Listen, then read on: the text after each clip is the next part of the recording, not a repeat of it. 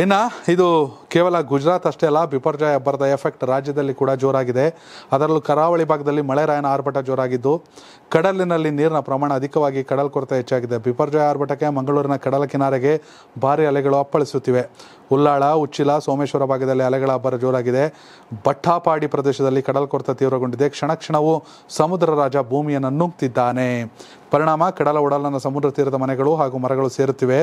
ಇನ್ನು ರಕ್ಕಸ ಅಲೆಗಳ ಹೊಡೆತಕ್ಕೆ ಮನೆ ಸಮುದ್ರ ಪಾಲಾಗುವ ಭೀತಿಯಿಂದ ಪಟ್ಟಪ್ಪಾಡಿ ತೀರದ ಜನರಲ್ಲಿ ಆತಂಕ ತೀವ್ರಗೊಂಡಿದೆ.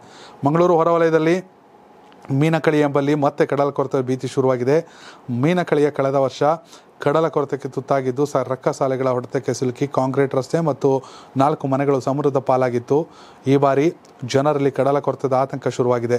ಈ ಹಿನ್ನೆಲೆ ಮುಂಜಾಗ್ರತಾ ಕ್ರಮವಾಗಿ ಕಡಲ ತಡೆಯಲ್ಲಿ ಇನ್ನೂರಕ್ಕೂ ಹೆಚ್ಚು ಸ್ಯಾಂಡ್ ಬ್ಯಾಗ್ಗಳನ್ನು ಬಳಸಿ ತಾತ್ಕಾಲಿಕ ಪರಿಹಾರ ಮಾಡಲಾಗಿದೆ. ಸ್ಥಳೀಯ ಶಾ, ಶಾಶ್ವತ ತಡೆಗೋಡೆಗೆ ಒತ್ತಾಯಿಸಿದ್ದಾರೆ.